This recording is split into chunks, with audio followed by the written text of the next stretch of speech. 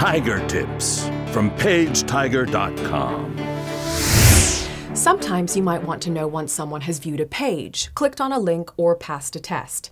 First, you need to create a Page Tiger notification here in Settings. Click on Notifications. And I've called mine Tell Kitty and added my email address.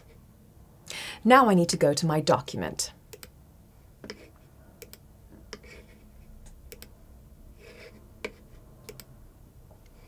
And here's an interactive test.